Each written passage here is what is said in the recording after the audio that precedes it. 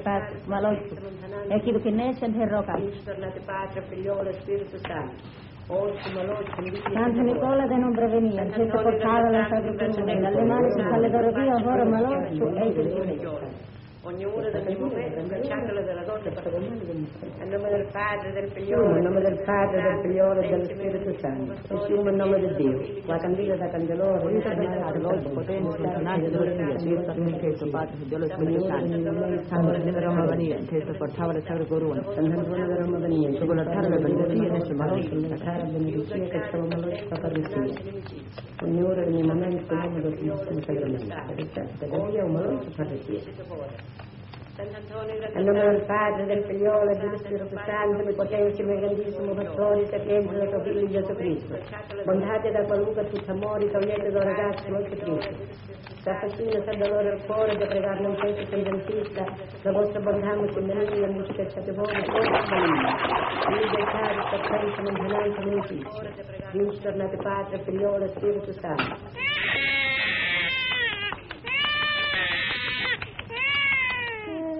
Ogni anno, nell'Italia del Sud, nascono circa 400.000 bambini.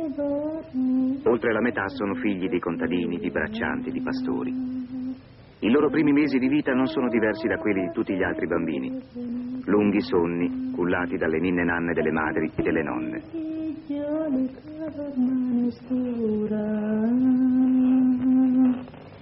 La figliola viene ella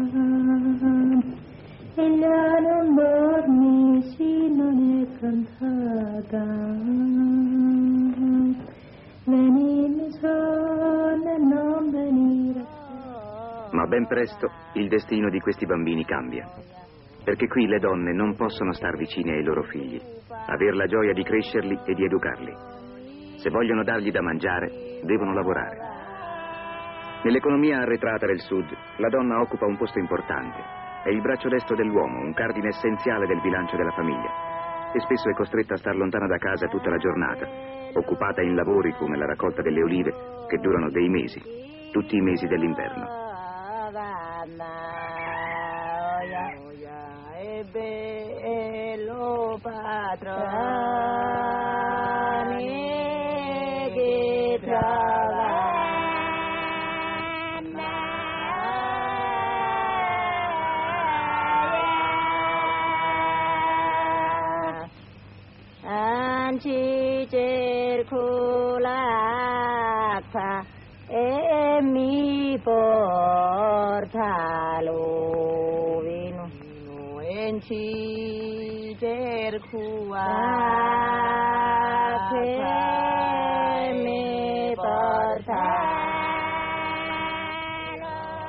Qualcuna si porta il figlio con sé in campagna, ma il più delle volte le madri devono lasciare a casa i loro bambini.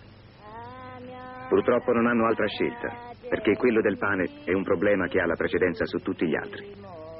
E se si parla con loro, le risposte che danno sono tutte uguali. Esse ripetono con monotonia le stesse frasi, in cui la parola lavorare, lavorare, lavorare ritorna come i grani di un rosario. Come posso fare? Devo lavorare, devo lavorare, se no non mangio. Devo andare a lavorare. Chi mi dà da mangiare a me e ai miei se non lavoro?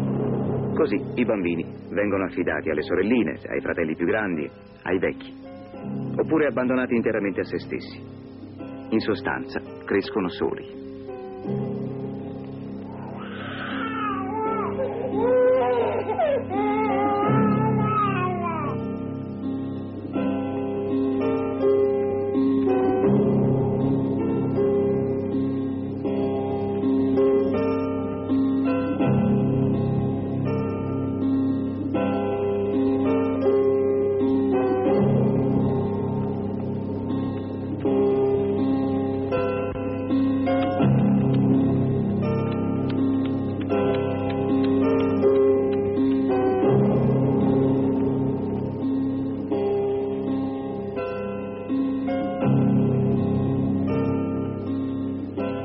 Paesi i bambini dai 2 ai 6 anni vengono affidati a delle donne anziane che dietro un esiguo compenso giornaliero li tengono in casa loro e a modo loro li sorvegliano. Sono degli embrioni di asili, si chiamano case di custodia.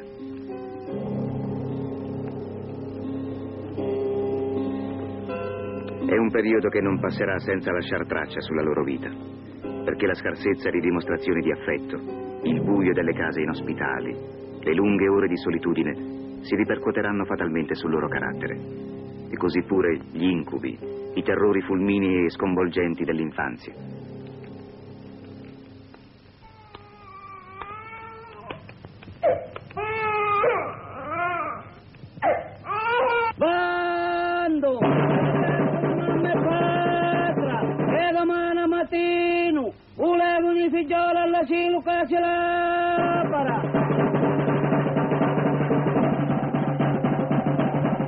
Per cercare di risolvere questo grave problema, l'Associazione per gli interessi del Mezzogiorno ha creato dal 1910 a oggi una vasta rete di asili nel sud d'Italia e i banditori ogni anno, agli inizi di ottobre, ne annunziano l'apertura alla popolazione. Quello che devono mandare i figlioli all'asilo domani se l'apri!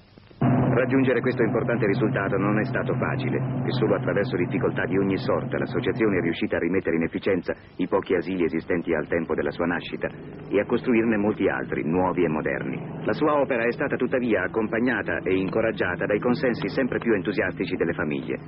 Negli asili, infatti, migliaia di bambini dai 3 ai 6 anni trovano non solo un'affettuosa ospitalità, ma una costante assistenza materiale e spirituale.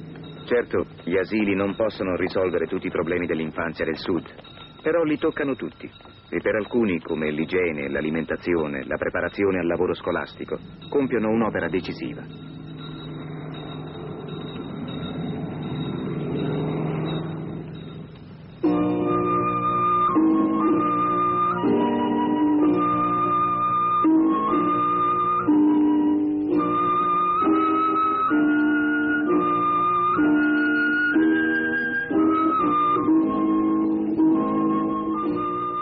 Il primo incontro dei bambini con i metodi educativi degli asili dà luogo a manifestazioni particolari previste dagli educatori.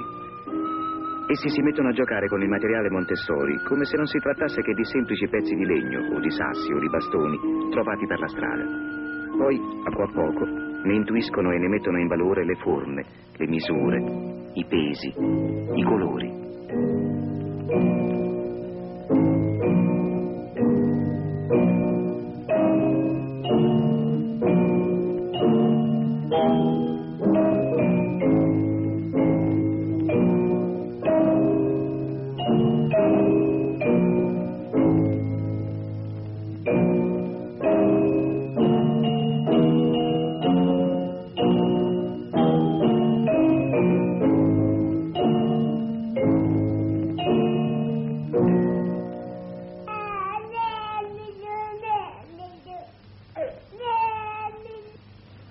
Più difficili, quasi uno shock, sono i primi contatti con la disciplina e le norme fondamentali dell'igiene e dell'educazione. Ma le paure, i pianti, la cocciuta renitenza dei primi giorni lasceranno ben presto il posto a più ordinate abitudini.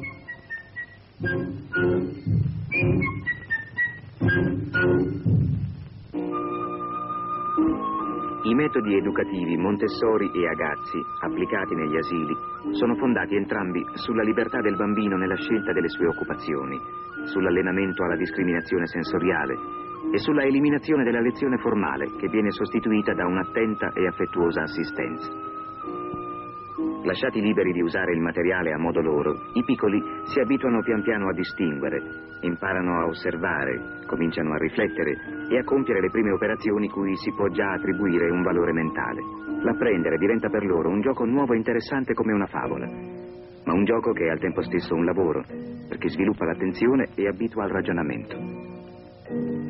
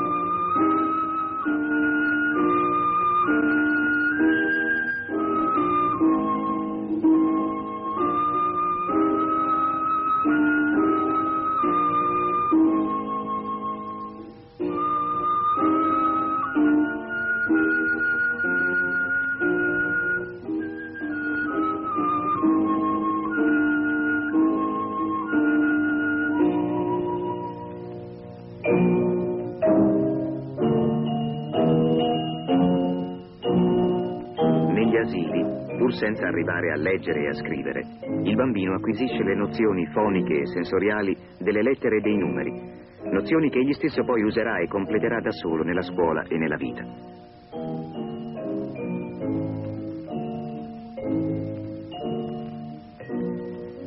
Tutta la vita degli asili è basata sulla collaborazione e sull'aiuto reciproco. È una scuola continua di ordine e di rispetto. Un gioco che si avvia verso il lavoro-gioco, da cui il ragazzo, il preadolescente, giungerà poi al lavoro vero e proprio.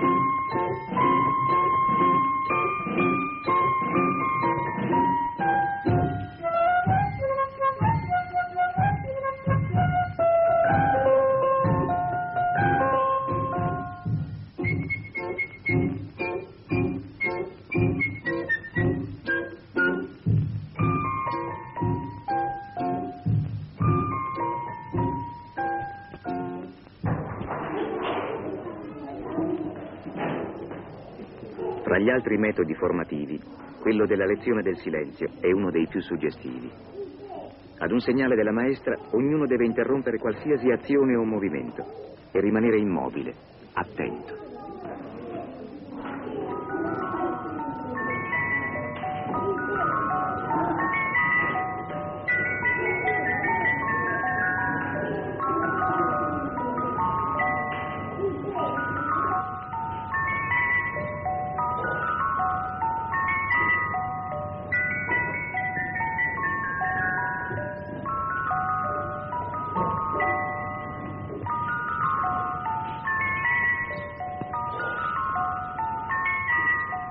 Restare fermi e zitti per un quarto d'ora è un esercizio di concentrazione che prepara i bambini all'autocontrollo.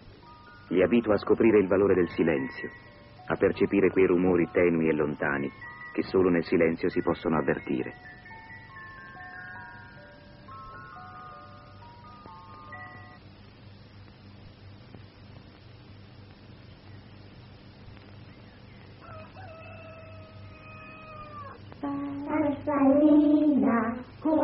Il trattenimento in aula è alternato con giochi e lavori all'aria aperta e con passeggiate.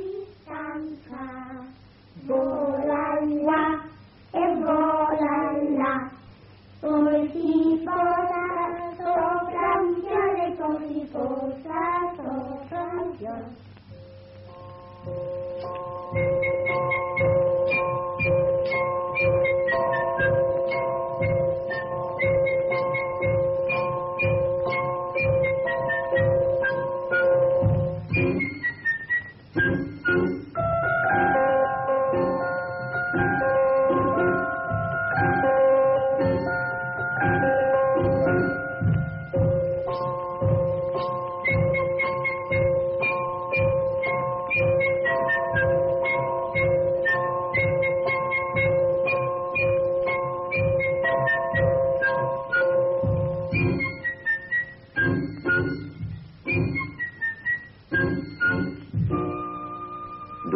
Passeggiate, i bambini sono liberi di abbandonarsi ai giochi che preferiscono. Ma ogni occasione è buona per aiutarli a scoprire e conoscere il mondo che li circonda. La maestra, per esempio, dice loro, andate e riportatemi tutto ciò che trovate. Foglie, fiori, pietre, insetti.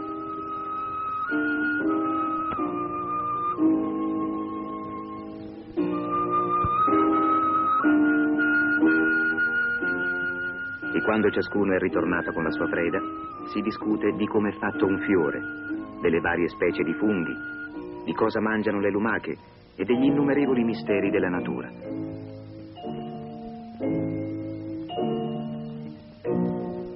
Con il disegno spontaneo i bambini si esercitano a esprimersi e a raccontare.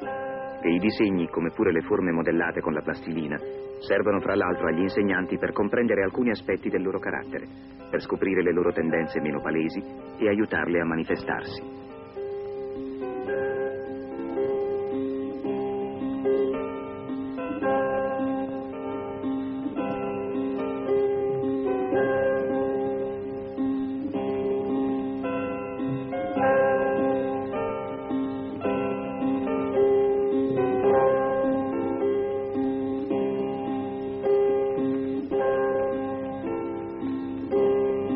L'opera educativa degli asili non contribuisce soltanto a formare la personalità del bambino, ma giunge a influenzare attraverso di essa l'ambiente familiare.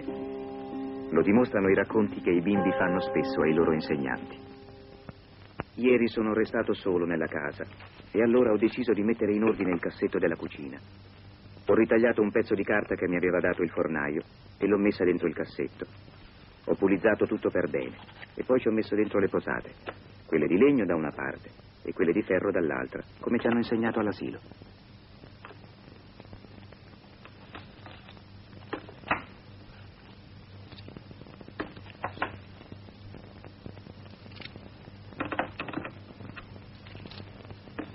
Noi di solito mangiamo intorno al focolare e tutti in un solo tegame e prendiamo quello che ci pare. Ieri la mia mamma era fuori e pioveva e io non potevo giocare. Allora ho preparato la tavola come si fa all'asilo. Prima ho messo la tovaglia, poi i piatti, poi i bicchieri, poi i boccali, poi le posate. E così ho fatto una bella sorpresa a tutti quanti.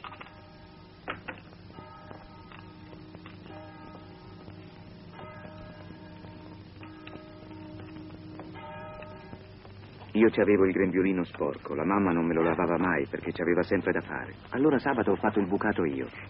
Quando la mamma è tornata mi ha sgridata perché avevo allagato la cucina e mi ha messo in un cantone. Però non era proprio arrabbiata perché ho visto che rideva. Poi ha preso il grembiulino e si è messa a lavarlo lei. E così ho avuto il grembiule pulito e dopo non mi vergognavo più.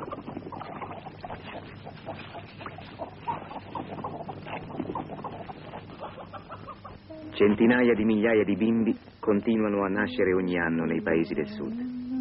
E la loro esistenza continua ancora ad essere spesso condizionata dall'arretratezza dell'ambiente e dalla miseria. Ma oggi a molti loro almeno per gli anni così fragili e formativi dell'infanzia, è riservato un destino più umano e sereno.